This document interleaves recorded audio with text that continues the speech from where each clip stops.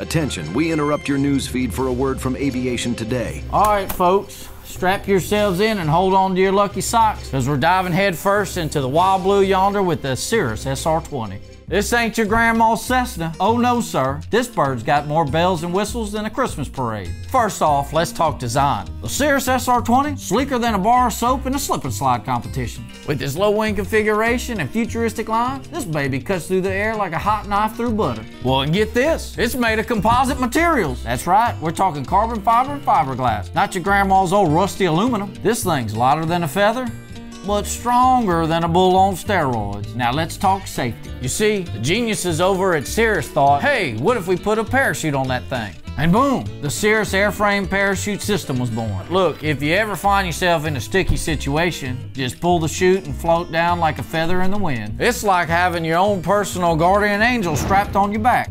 Tell you what. But wait, there's more. This ain't like any old airplane, it's got brains too. We're talking about the Garmin Perspective Avionics Suite, folks. It's got more buttons than NASA's got conspiracy. Chew. I tell you what, this Cirrus SR20 is powered by a Lycoming IO390, a whopping 215 horsepower.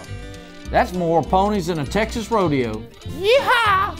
With that kind of juice, you'll be climbing faster than a squirrel up a tree and cruising at speeds that'll make your hair stand on end. So there you have it, folks. The Cirrus SR20, the Swiss Army knife of airplanes. It's sleek, it's safe, and it's smarter than your average bear. So buckle up, Buttercup, because with the SR20, sky's the limit, we're blasting off to adventure.